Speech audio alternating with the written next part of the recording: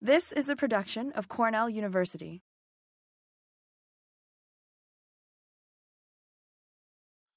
Hi, everyone. Welcome again to the 2023 HEMP webinar series. My name is Luis Monserrate, a second year PhD student in plant breeding and genetics in Larry Smart's lab at Cornell University. I am accompanied by Cornell alum uh, Tony Barraco, who has assisted me putting this webinar together, by also by um, Kim and Gemma, who have provided this digital platform for us to, to have our webinar series. And today we have a special guest, my advisor, Dr. Larry Smart, Professor of Plant Breeding and Genetics at Cornell University. And lastly, I just want to mention that this webinar is a component of a larger project, which is the development of educational modules that will be freely available on the Cornell Hemp website at the end of this webinar series. Each uh, module will consist of the recorded webinar, the instructional slide deck, and a couple of high impact papers pertinent to the respective subject. For instance, in this case, it would be hemp diseases. Uh, all webinar recordings will be available on the Cornell SIPS YouTube channel if you're interested in rewatching them or sharing them with someone that could not attend. So with that, it is my pleasure to introduce Patrick McMullen. He is a PhD candidate at University in plant pathology in Chris Smart's lab. Unfortunately, Chris could not join us, could not join us today uh, due to scheduling conflicts, which is why Patrick is presenting on her behalf. And his talk today is going to be on hemp diseases. So Patrick, without any further ado, take it away. Thank you, Luis. And it's great to have everyone here today for this talk. So um, like Luis said, I'm a third year PhD candidate here at Cornell University in Chris Smart's lab, um, where I study primarily um, Pythium damping off on hemp and Pythium root rots. Um, today, I'll be covering a bunch of different diseases that we see on hemp and um, showing characteristics of them and some of what you can do to manage these diseases if you observe them in your growing system. A lot of this work has been done by other collaborators in my lab, um, previous grad student Ali Kalla, current student Jocelyn Schwartz, uh, Tex, Colin Day, Taylor Herman, and uh, Chris Smart, my advisor. So I know for the, um, the posting for this talk, we made the disclaimer that we aren't going to be um, focusing on hop latent viroid, um, which is becoming an increasingly uh, prevalent issue across the country. However, we haven't yet seen this in New York State. So um, we're not re researching this here, but I did just want to mention a couple things um, about hop latent viroid um, here right at the beginning. So on the left here is just a healthy plant that was not infected with hop latent viroid, it was mock inoculated. Um, here on the right is one that is infected with hop latent viroid. And you can see that this infected plant shows smaller fan leaves and leaf epinesticity um, in the plants infected with this viroid. So while this is seen in some parts of the country, but not here, um, there is work going on in some other labs, um, and there's some great publications in the viruses journal. Right. So first, I'd just like to give a general overview of what I'll be covering through the remainder of this talk.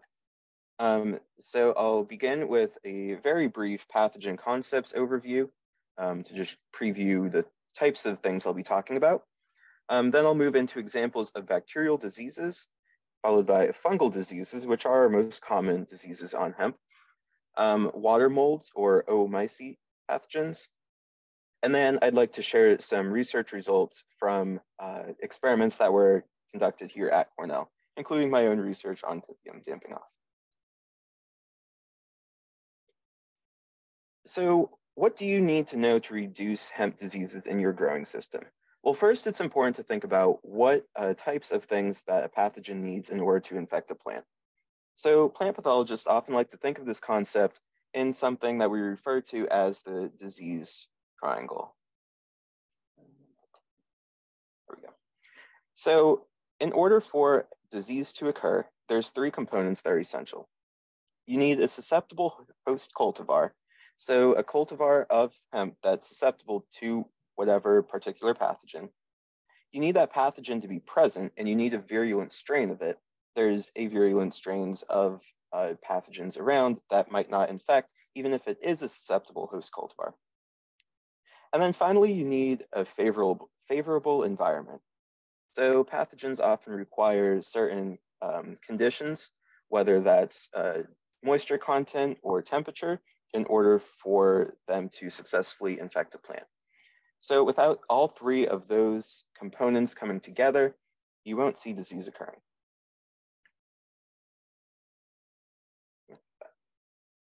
Um, so then moving on, uh, things that you should be considering when you want to develop management plans for your particular growing system. It's important to know what pathogens are common on your farm or in your area. Um, what have other neighboring growers seen in recent years, or what have you seen year to year? Uh, keeping some sort of record of that can be very helpful. Knowing the rotation of the rotation history of the field you're planting in can be important. Um, some pathogens can uh, survive on multiple hosts, whereas others have a very limited host range. So knowing what pathogens have been there and how they overwinter is important to management as well. Um, like I mentioned just before, environmental conditions are very important for diseases to occur. Um, so knowing what pathogens are in your area and as well as what types of environment you normally see um, all contribute to this. And that becomes a little bit more difficult as we see a greater variability in climate season to season right now. So then when we're considering managing the pathogens that we do have, cultural practices are often our best bet at reducing pathogen pressure. So things like avoidance, uh, not avoiding the pathogen itself, not planting in very wet areas, um, pruning, those sorts of things that we'll discuss more in detail in the coming slides. And then finally, uh, chemical control is our last fallback. So what products can we use to control diseases that you expect to see in your field? And is there any efficacy data supporting um, the efficacy of products registered for hemp diseases common in your area? Now, it's important to know that there aren't uh, as many registered pesticides um, available for hemp as in other crops. However, this number is growing. And it's always just important to make sure you read the pesticide product label and follow all instructions for your location.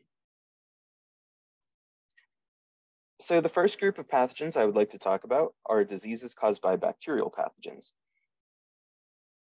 Um, one that we've seen here in New York um, recently is Serratia marcescens, which causes this necrosis on the leaf tissue and wilt and senescence of the leaf.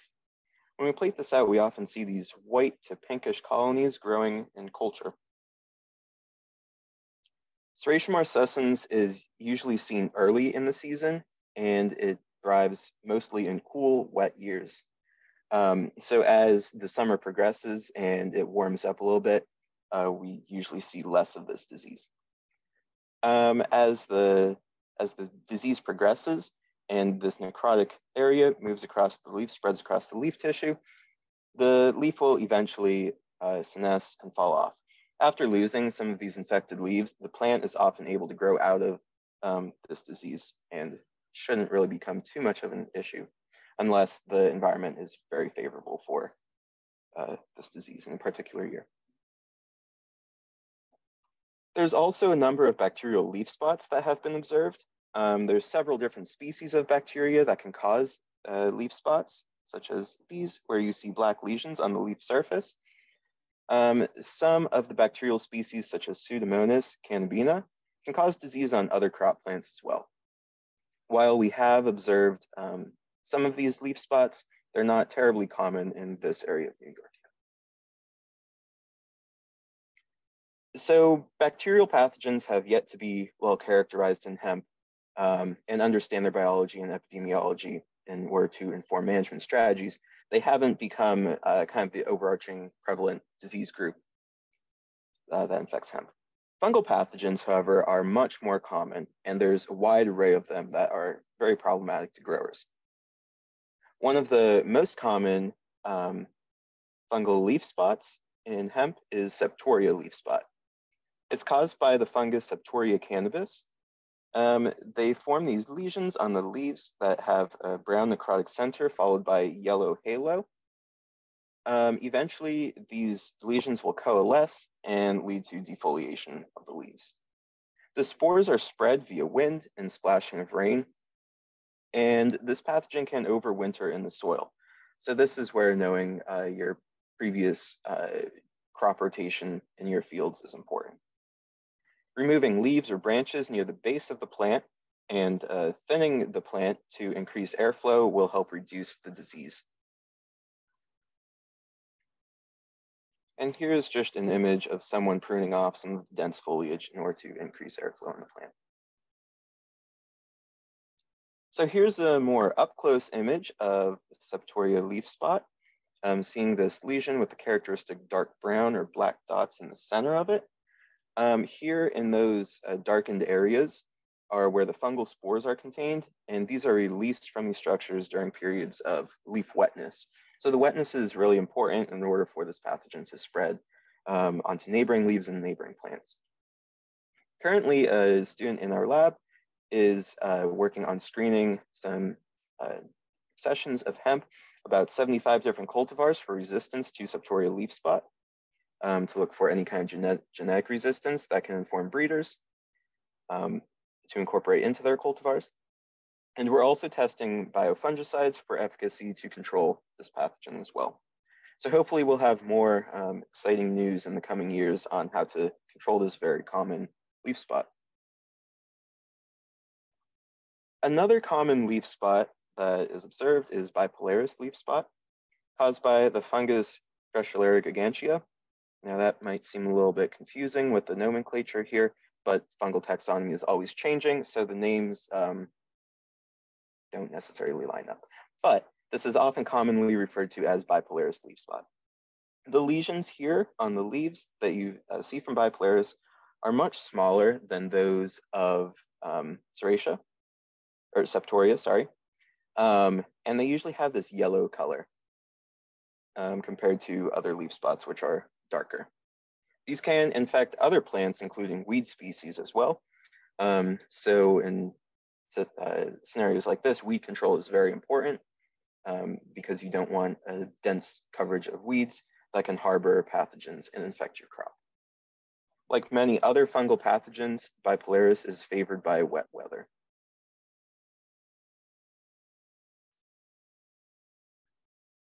And then another leaf spot, Cristularia, uh, is um, very common uh, under certain climate conditions. We saw a lot of this in 2021 here in New York.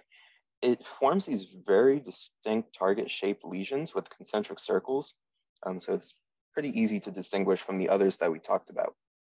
Like the other leaf spots, it can cause defoliation um, when it progresses far enough.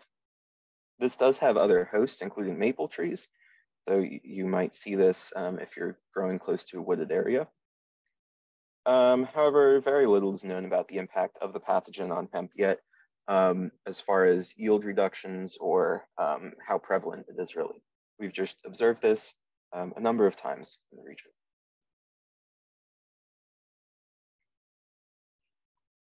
So another um, interesting foliar pathogen of hemp is hemp rust. Now, rusts are very important um, and need to be controlled heavily on uh, grain crops like wheat. Um, wheat rust is a very problematic issue. On hemp, um, it often isn't as severe, where it forms these pustules on the underside of leaves and can cause defoliation um, and yield reductions in very severe outbreaks. Um, but typically, you're only seeing small amounts of it. The, uh, the causal species of hemp rust is Uredo uh, kriegeriana. It forms orange colored spores on the underside of the leaves that uh, form these larger pustules. Once it's on the leaf, it can uh, spread throughout this leaf tissue, and the spores are wind blown to other neighboring leaves and plants. Uh, little is known about the pathogen life cycle of this particular species on hemp right now, some rusts have alternative hosts that they need a second uh, plant species to complete its life cycle on. Uh, this species just has not been studied enough yet for us to know those details. And like I mentioned, it's not most the or among the most common pathogens that we see here in New York, but we have found it a couple times. A pathogen that is very common and infects the flower buds of the plant, the inflorescence, is gray mold. caused by Botrytis cinerea. So when Botrytis first infects, you'll see this characteristic gray mold where it gets its name from, covering the inflorescence of the plant, um, which will eventually turn into brown necrotic tissue, making this flower bud totally unmarketable. Um, so this can be very problematic for growers, uh, particularly in very humid climates, or this can be seen a lot in controlled environment agriculture, anywhere where, where there's a lot of moisture. Um, we see this more in cultivars with very tight floral development. Um, so anywhere where it can trap in a lot of moisture and prevent uh, increased airflow will be a perfect environment for botrytis to develop. And you'll see greater fungal sporulation in rain or higher humidity. This pathogen shouldn't be confused with Fusarium head blight, which is a similar uh, inflorescence infecting pathogen. So Fusarium head blight and bud blight is caused by several species of Fusarium. Um, these fungi can produce dangerous mycotoxins in cereals and other grains. Um, and the species that do infect hemp are known to cause these mycotoxins. However, it hasn't been studied yet whether mycotoxins are produced on uh, hemp inflorescences yet. There's currently some wonderful research being done on Fusarium head blight by Nicole Gauthier's lab down in the University of Kentucky. Um, so for more information on Fusarium bud blight, I would strongly recommend looking at some of her work and her lab's work. Um, it's very important to be aware of potential mycotoxin uh, form, uh, mycotoxins forming uh, because these are very dangerous um, to any livestock that you might be marketing grain for or in other uh, food products. We don't really know how common this is yet in New York. We haven't conducted much popu many population biology studies um, or study the epidemiology of this. As you're probably getting the gist of with a lot of these pathogens, we're just beginning to study a lot of them.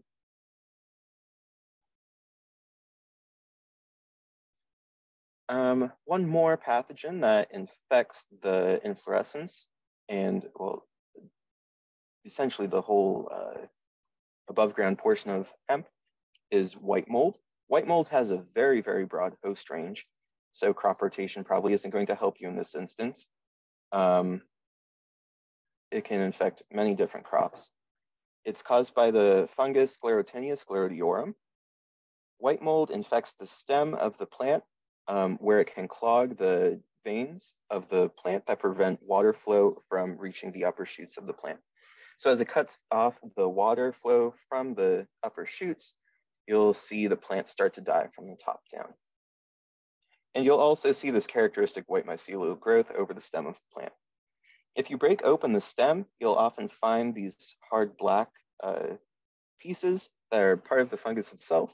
They're the sclerotia or the hardy overwintering spores of this fungus. So those will fall down to the soil and allow this uh, this pathogen to overwinter and survive year to year.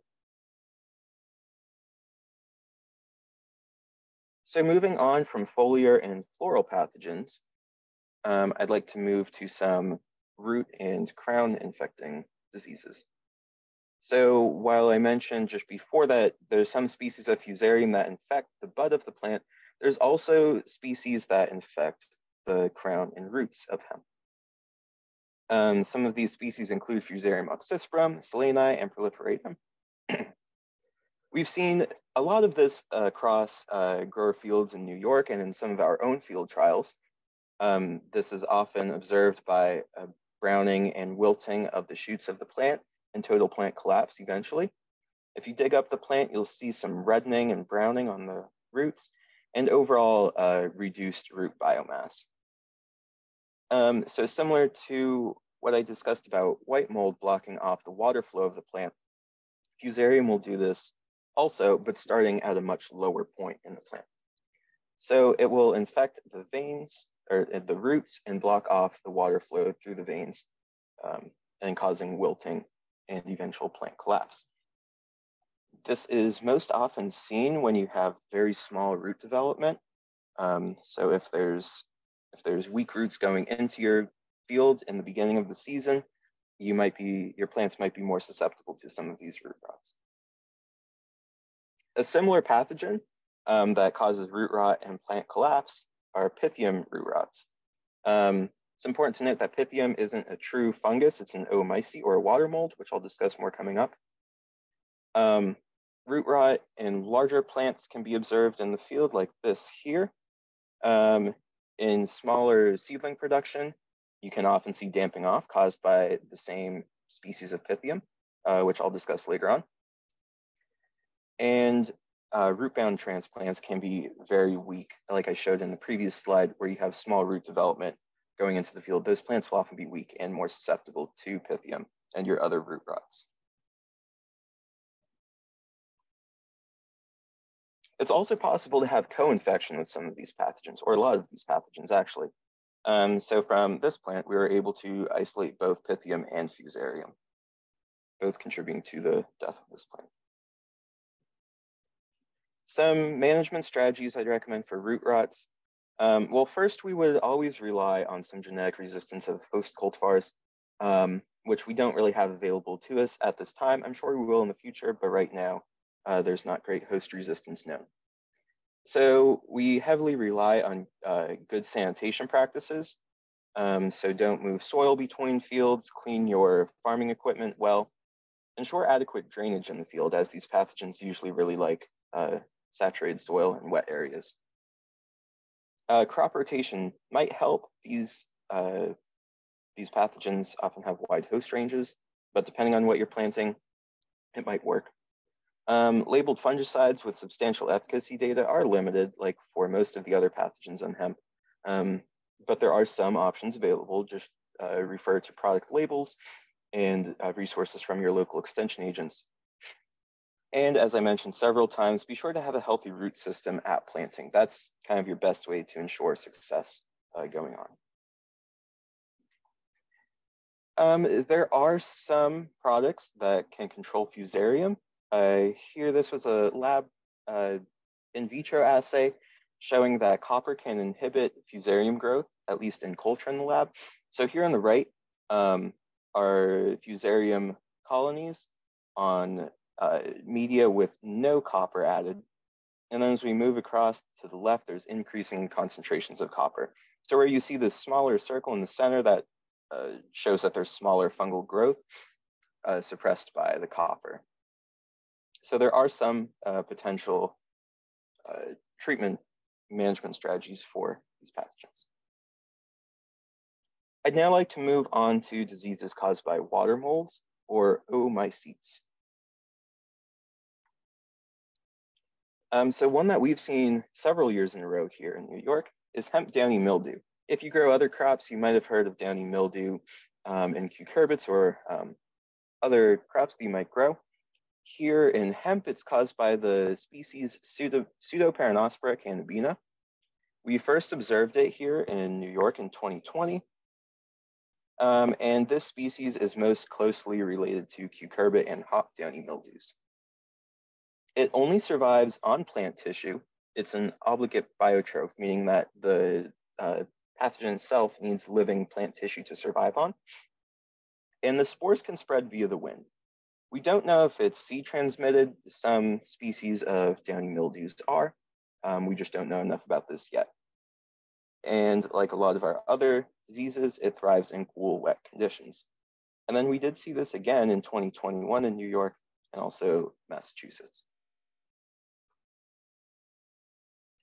Uh, so the symptoms of hemp downy mildew, it first infects the underside of the leaf tissue, and you'll see this gray sporulation on the underside, uh, hence the name downy on the down underside of the leaf. Eventually, it will uh, move to the upper surface. It kind of travels directly through the leaf. So by the time that you see these lesions on the upper surface of the leaf, the underside is probably heavily colonized. Hemp downy mildew um, produces sporangia, which are the asexual spores. These spores can move through uh, water and the wind to germinate on other leaves. And then it does have these overwintering oospores um, that can survive on leaf litter in the soil and cause the disease year to year. our lab is currently working on some uh, research projects studying hemp downy mildew. Um, someone is screening germplasm for resistance to hemp downy mildew. We're collecting isolates across the region to study pathogen diversity um, and how diverse this pathogen is, um, as well as looking for control strategies, which is our ultimate goal for all of our disease research. Um, things that you can do to prevent hemp downy mildew are reducing leaf wetness by pruning, removing leaves, and increasing airflow. So for the last portion of this talk, I'd like to focus on research results from our own lab. Um, I'll focus on two projects here, one uh, on powdery mildew completed by Ali Kalla, who recently graduated, and my own work on Pythium damping. So powdery mildew is a very common um, fungal pathogen of hemp that you often see in Uh, greenhouses, controlled environment agriculture, as well as in the field. It's caused by the fungal species Golovinomyces ambrosiae, and powdery mildew, as the name suggests, forms this white powdery mildew across the top of the leaf surface. If you zoom in closer, you'll see these long chains of spores that under the microscope are actually all of these asexual spores that stack on top of each other. These spores are then wind dispersed and easily move from plant to plant. So if you're moving between planting areas, you can easily take this with you. And uh, like downy mildew, uh, powdery mildew also needs living plant tissue to survive. I should mention that this is primarily found on the upper surface of the plant, um, but can really infect all above ground parts of the plant. Um, you can see it colonize the flowers sometimes, but you'll usually first observe it on the upper surface of the leaves. Powdery mildew prefers hot, humid conditions, but dry leaves. Um, so unlike some pathogens that require leaf wetness in order to disperse, uh, powdery mildew spores, the asexual spores, will burst um, when they encounter water. So it likes high humidity, but a dry leaf surface, which makes greenhouses a really great spot for powdery mildew outbreaks to occur. Um, our lab has conducted some fungicide efficacy trials where the goal was to compare the efficacy of some products currently labeled in New York State for use on hemp to control hemp powdery mildew.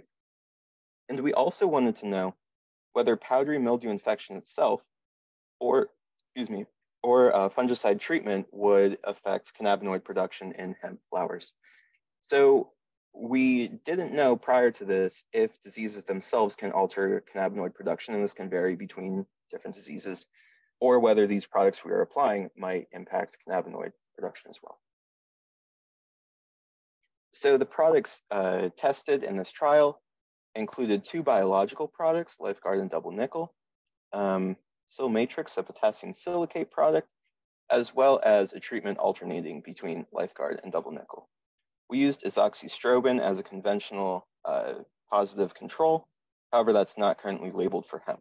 Uh, we were just able to use it in a research context. And then we compared all this to our non-treated controls, of course. So these um, studies were carried out in 2020 and 2021. Um, since it's uh, an obligate biotroph, we had to grow the inoculum on living plants in uh, growth chambers. We then washed off the spores from leaves of those plants and spray inoculated plant tissue in the field. Uh, plants were inoculated three different times in order to ensure infection. Um, and then the disease severity was rated five times once a week, where the percent disease coverage was quantified. And this allowed us to calculate what we refer to as AUDPC, or the area under the disease progress curve. So that's essentially a measurement of how the, how the disease progresses over the course of a growing season, and the greater the value, the greater the disease is. Um, at the end of this growing season, we collected mature inflorescences for cannabinoid analysis. Here, this graph is showing the data from 2020, where we used the cultivar TJ CBD, high CBD variety. Um, on the x-axis are the different uh, fungicide treatments, and then on the y-axis is our disease severity rating, the AUDPC. The greater the value on the y-axis indicates a greater disease severity. So we can see that our untreated controls had the greatest uh, average disease severity. And then all of our um, fungicide treatments did decrease disease severity, at least numerically. Anything sharing a letter above it um, represents statistically indistinguishable um, treatments, whereas those with different letters are statistically different, significantly different. So Sil Matrix, our alternating treatment, double nickel, and azoxystrobin all significantly decreased uh, the disease present um, of powdery mildew. This was repeated in 2021, however, using a different cultivar white CBG, which in the year in between these two uh, trials, we noticed was more susceptible to powdery mildew. So we wanted to see how do these products perform when disease pressure might be even greater. And again, we saw the same thing where untreated control had the highest level of powdery mildew infection, and then our fungicide treatments all seemed to be pretty effective. Lifeguard alone was not statistically um, significantly different from the untreated control. However, if you alternated Lifeguard and double nickel or use double nickel or Sil Matrix um, alone, you saw pretty good disease coverage. And this combined treatment might indicate that double nickel itself is really pulling most of the weight here and is a very effective fungicide to use. When um, we looked at the um, potential cannabinoid content of our uh, different treatments, of the hemp and the different treatments. Um, similar graph where we have the treatments on the x-axis. Uh, here on the y, we have total potential CBD. Um, while there are, there seems to be a bit of a gradient, the y scale here is actually pretty narrow. So there were no significant differences between any of the treatments um, and any of the cannabinoids measured. So we quantified CBD, THC, CBG, and CBC content and like I said, there were no significant differences um, in cannabinoid content in any of the fungicide treatments in either our 2020 or 2021 trials. So that's good. Um, you shouldn't be having to think about fungicides you're applying um, to know whether they might impact what your harvest yields are. Likewise, when we looked at plants that were just infected with powdery mildew, we saw no significant differences between those infected with powdery mildew or those that were non-inoculated. Um, um, and this was true in both in all of the cannabinoids measured, THC, CBD, CBG, and CBC. So the pathogen infection itself wasn't um, impacting the cannabinoid content as well. So some conclusions and takeaways from this fungicide efficacy work are that some of the products that are available for growers to use now are effective in reducing powdery mildew disease pressure. Um, the two in our study here that worked quite well were uh, Sil Matrix and double nickel, but there, I'm sure there's other options available. Fungicide treatments used in, in this experiment did not impact cannabinoid production in hemp, and likewise powdery mildew infection also did not affect um, cannabinoid production. So another component of the powdery mildew work completed was to identify if there's any host resistance to powdery mildew in hemp. So here we uh, surveyed a broad uh, genetic diversity of hemp of 30 cultivars, um, and there were two sites of this in two different, on both of our campuses here in New York, in Geneva and Um, so here, each graph represents one of the growing locations. So here was our research field in Geneva, and on the right is our research field in Ithaca. And as you can see, um, so on the y-axis is the mean percent of diseases per plant, so essentially disease severity. Um, and there's a very wide range of disease severity across our different cultivars. Some of them having uh, practically no disease, while others are very heavily uh, colonized with powdery mildew. So this information is very useful for plant breeders um, to identify genes of interest that might control uh, disease resistance that can be incorporated into future breeding lines. So in these field trials, um, we've identified at least one potential source of host resistance, which is currently being used in the Cornell breeding program to breed for uh, genetic resistance to powdery mildew in hemp. We're continuing to screen for additional genotypes uh, to allow us to identify other sources of genetic resistance, and this information will also go to the breeding program. Learning more about the pathogen itself is critical. Um, we don't really know how the pathogen overwinters or if it sexually reproduces. Um, knowing more about the biology can allow us to better inform our management strategies. We've tested several products for powdery mildew control, and all have been effective if they are applied prior to the arrival of the pathogen. This is really important. If you're trying to apply a fungicide after you already see infection, it's often too late. That's not always the case, but it's fairly common, especially when you're using biofungicides. They need to be applied very early in the season um, and uh, prior to infection. um, we were also interested in determining what the host range of hemp powdery mildew is. So other powdery mildews, uh, there's powdery mildews found on many, many different plant species. Others often have uh, very narrow host ranges, but there were reports of the species that infects hemp, Golovinomyces um, infecting some other uh, plant species, uh, such as sunflowers, okra, and zinnia. And similarly, well, interestingly, there have been reports of a cucurbit powdery mildew species on hemp. So we want to test uh, how true this is, how far it extends. Um, so in this field trial in 2021, 22 different cultivars of plants were inoculated with Golovinomyces ambrosiae, the hemp powdery mildew pathogen, and these included cucurbits, zinnia, okra, and sunflowers. Um, like our other fungicide trials, they were rated for disease severity, this time five times throughout the growing season, and our AUDPC or disease severity was calculated over the course of that growing season. We then collected powdery mildew DNA um, to identify the species causing the infection. So we want to see if what we were inoculating the plants with was indeed what we were uh, seeing at the end of the growing season when infection was heavy, um, or if something else was moving in naturally. So uh, some of the summary data from these experiments showed that yes, all of these different uh, plant species are susceptible to hemp powdery mildew. However, we saw great differences between cultivars uh, within these crops. So for example, here on the left in okra, uh, one species was much more susceptible than the other. And this was seen in all of the different uh, crops that were tested. So while they might be susceptible, um, there could be great variation depending on what cultivars you're using.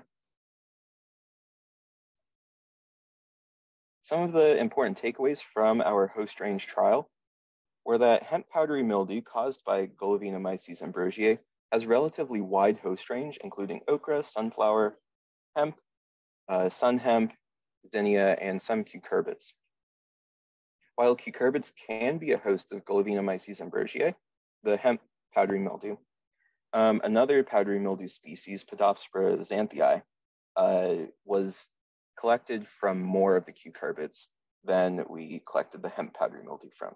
So this Podosphaera species is the powdery mildew that is primarily seen on cucurbits. And this is what we were um, isolating back out from cucurbits that were infected with powdery mildew.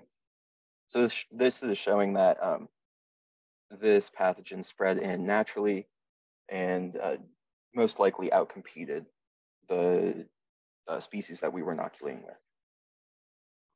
There's differences in susceptibility to Golovinomyces ambrosiae among our different cultivars. Um, so this is important information um, to think about what you're planting next to each other.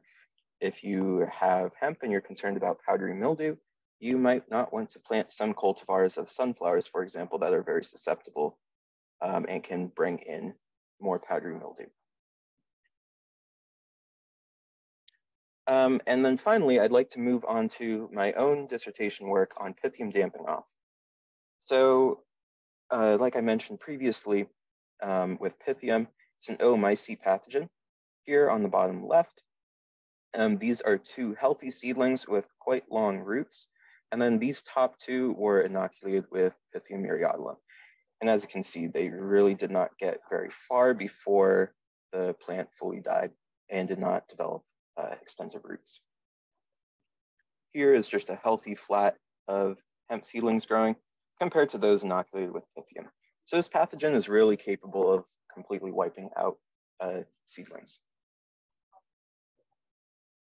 This is often seen in greenhouse production where you have small plants growing. So maybe if you're growing um, hemp baby greens, uh, this is a pathogen that you might be more concerned about, where there's high moisture content and young, very susceptible plants. Um, so while Pythium damping off can be caused by many different species of Pythium, uh, one that I focused on was Pythium myriotylum, which was first reported on hemp in Connecticut in 2018. Symptoms include wilting of the leaves, necrotic lesions on the root, roots, and then uh, the outer cortex of the roots will slough off from the inner uh, uh, vasculature of the root system. And if this progresses long enough, your seedling will damp off and die. And this whole process doesn't take very long in very young seedlings. Um, it's a soil dwelling water mold that infects the root cap of the plant um, so again, this really prefers cool, wet conditions. These are the sporangia. Similar to the sporangia that we saw in downy mildew, these uh, produce the swimming asexual spores that can move through the water. So part of my research um, is determining whether we can control soil-borne pathogens via seed treatments. The objective of this work was to determine if current fungicide seed treatments available improve germination and seedling viability on both uninoculated or inoculated seeds uh, with Pythium myriotylum. And we also included Pythium ultimum, another species of um, Pythium that causes damping off. Here I tested three different fungicide seed treatments. Um, there was Americop, which is a copper hydroxide product, um, Probio, Ultum, uh, which I'll refer to as PBU, uh, is another copper hydroxide product, um, and then a phosphite product, Prudent 44 and neutral. And uh, here we use the hemp cultivar Vega, which and these seeds were all treated here at Cornell. Um, in this experiment, I sowed the seeds directly into these styrofoam trays which were then placed in a basin of water where the Pythium inoculum was directly added. So this system was used so that we could ensure Pythium infection. Like I said, this really needs a wet environment um, to survive. So by adding the inoculum into this water, we were able to get a heavy infection. And then, so we had uh, flats that were inoculated with Pythium myriotylum, Pythium ultimum, or that were left non-inoculated and all of the different seed treatments were included in each of the inoculum sources. Uh, for 22 days, the number of germinated seeds, seedlings which died post-emergence were damped off, and the number of healthy seeds were recorded. Um, here are two flats at the end of this experiment. Here on the left is a flat that was inoculated with Pythium ultimum. We can see uh, drastically reduced root development um, and a lot of dead necrotic tissue uh, in the shoots. Whereas compared to the uninoculated flat, there's extensive root growth and healthy green seedlings growing. These two graphs um, show the percentage of healthy seedlings. Here on the left, we're looking at 13 days post-inoculation. Um, on the y-axis is just the percentage of healthy seedlings. And then here are bars for the three different um, inoculum types. So the first two are the two species of Pythium, plants inoculated with those, and then our non-inoculated flats. Uh, 13 days post-inoculation, we didn't see any statistical differences between these treatments. However, uh, after 22 days, uh, we did see a significantly reduced number percentage of healthy seedlings in our Pythium inoculated treatments compared to the non-inoculated control. So that's good. That shows that our inoculation strategies worked. And then when we look at the seed treatment data, um, here each panel represents one of the three different uh, inoculum sources. So these first two are our two species of Pythium. And then this on the right is our non-inoculated group. Um, and then across the x-axis here are the different uh, fungicide seed treatments. On the y-axis is the percentage of healthy seedlings. Um, so as represented by the NS notation here, not significant, there were no significant differences um, in any of the seed treatments compared to the control. So none of these seed treatments statistically uh, significantly improved the percentage of healthy seedlings at 13 days post-inoculation. When we jump ahead to 22 days post-inoculation, we see that the uninoculated uh, groups remain much higher uh, than those inoculated. But again, we don't see any significant differences when we compare the untreated to those treated with the fungicides. We do, however, see some numerical differences um, where Americop and the PBU film coats uh, numerically at least improved some uh, healthy seedling rates. So in summary here, both species of Pythium that we inoculated with reduced the number of healthy seedlings uh, through damping off. None of the seed treatments tested significantly increased the percentage of healthy seedlings. However, like I mentioned, AmeriCOP and uh, PBU uh, did numerically increase the number of healthy seedlings. Um, these products will further be evaluated in other environmental conditions in the field. Um, here we, like I showed, these were in very wet soils. It'll be interesting to see how these products perform in field soils with other soil-borne pathogens um, and natural sources of inoculum. And then some general conclusions and takeaways from this uh, seminar are that, as you're probably guessing by now, hemp is susceptible to a very wide array of pathogens um, of all of bacteria, fungi, and oomycetes. Cultural practices are very important. These include things like uh, sanitation, uh, cleaning your farm equipment frequently, um, and any pruning material, increasing airflow that can uh, prevent leaf wetness from uh, stagnant water sitting on your leaves. Avoid planting in wet soils. Uh, rotate to crops that might be non-hosts of problematic pathogens in your system. And use resistant cultivars if they are available or when they become available. Uh, fungicides available are limited, but the number of registered products is growing.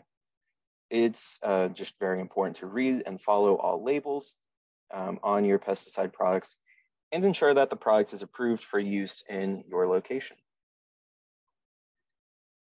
With that, I would like to thank all of my funding sources um, who funded our lab and all of our work here uh, New York State Ag and Markets, Empire State Development Corporation, um, and all of our collaborators here at Cornell. And I would be happy to answer some of the questions in the Q&A box now.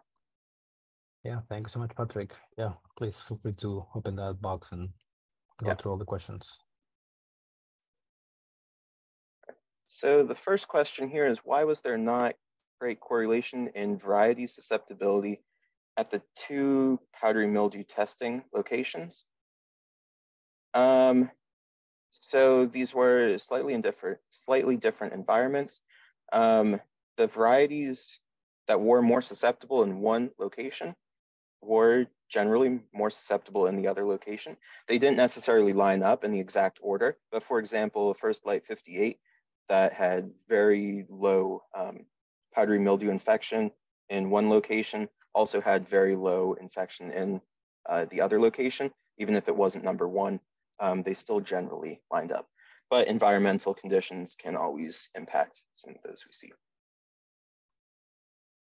Um, have there been any studies performed that track the efficacy of applying beneficial microbials gen generated from actively aerated compost teas applied to foliar surfaces as a preventative for various pathogens? Um, there's a lot of work currently happening um, with microbial uh, additives. Um, I'm not so sure about examples of using compost teas. Um, as preventives for pathogens. However, um, some of the products we tested are biofungicides, um, which can control, I, I, showed some efficacy data for biofungicides controlling powdery mildew, and we're also testing those for um, septoria control as well. So there are a lot of biological products. Um, some of my upcoming work will be testing uh, beneficial microbials as well. Um, I think a lot of that research is currently in the works. Are there any known instances with utilizing biopesticides or beneficial microbes that may cause end products to fail compliance testing for total yeast and mold or mycotoxins? That's a very interesting question. Um, so the short answer is uh, a lot of that isn't known. Um, there's uh, projects that are taking place very soon. Uh, my lab is going to be completing some work um, seeing the longevity of microbial products in the inflorescences and leaves. Um, and I believe that legislation is still working out some of the thresholds of um, what is compliant when using some of those microbial products. Um, so if you're concerned about that, um, you can apply them earlier in the season um, and follow any post-harvest interval recommendations that the, that the label might give you. But yeah, a lot more of that information will be coming uh, in the future. And someone said, speaking of sanitation, how did I clean seeds for these studies? Um, yeah, so on the seed treatment slide, I think I had in the bullet point that the seeds were cleaned and sized. Um, this essentially referred to that the seeds were sifted through the sieve to give us a certain size seed. So anything that was below a certain threshold wasn't being included. Um, in these studies, the seedlings weren't sterilized prior. Um, if you're worried about contaminated uh, seed lots, sometimes you can do uh, heat treatments or uh, short soaks in diluted bleach and then rinse your seeds well, um, but that's not always necessary. Are there any studies focusing on additional powdery mildew species other than those mentioned? In the literature, I have seen both Golovinomyces ambrosiae and Golovinomyces spadiceus reported, and at times have seen these species synonymized through fungal taxonomy databases do not come to a consensus at this matter. Yes, so um, I actually eliminated that from the slide for the sake of simplicity. But so um, Ali Cala was the student who completed a lot of this work. When she first started her, uh, her PhD work, uh, the hemp powdery mildew was characterized as Golovinomyces spadiceus. And that's where she saw the reports of this powdery mildew infecting other um, plant hosts as well, so the okra and sunflowers. And that's what sparked the interest in that host range study. Um, then taxonomists, mycolog mycologists have uh, reclassified this uh, clade of Golovinomyces spadiceus to Ambrosiae. Um, so everything that we studied was originally classified as spadiceus and then later grouped into Ambrosiae. Um, so I believe that Ambrosiae is just the updated term for that. My uh, taxonomists are always arguing and things are ever changing. So I certainly understand the uh, confusion and questions there. And that is the last of the questions I have in the Q&A box. Um, if there's anything else, I would be happy to answer. But otherwise, I greatly appreciate all of you coming to this talk and hope that was helpful for you. Thank you so much, Patrick. That was a great presentation. Um, and thank you, Larry, and all of you guys for joining us today for this webinar. Uh, please join us in two weeks, April 19th, for our seventh webinar focused on hemp harvest by Stephen Philpott from Chicago State University.